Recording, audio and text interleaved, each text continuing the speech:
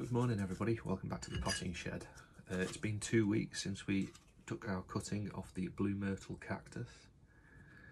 Okay, and if you look at the bottom there, when I say calloused over, it's all dry and it's healed up.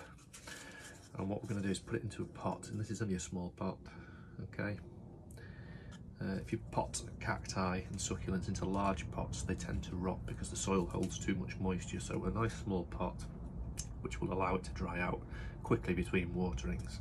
Now normally, as I said in the last video, you take these cuttings in spring and summer, but because I don't have that luxury, it is now early autumn, it's quite cold this morning, uh, we're going to try it anyway.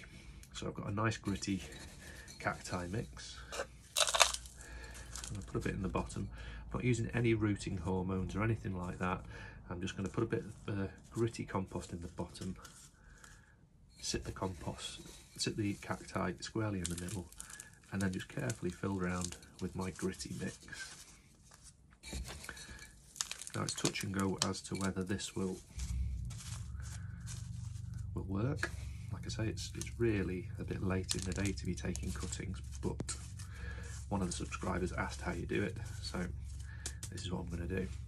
Now, this cacti has no roots yet, and it's going to take a while to develop them. So we don't want to put it in full sun and we don't want to water it just yet. We're getting towards the end of the watering season for the cacti and succulents. End of this month, I'll probably cut watering out altogether. So what I'm going to do is put this on the shelf. It'll get some light, but it won't be direct light. Okay, so it'll be a couple of feet away from the window, nice and bright, but not direct sunlight.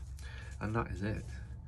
The only thing you need to do next is be very patient, and hopefully this will get through the winter excuse me and then in the spring um, it will produce roots and start to grow.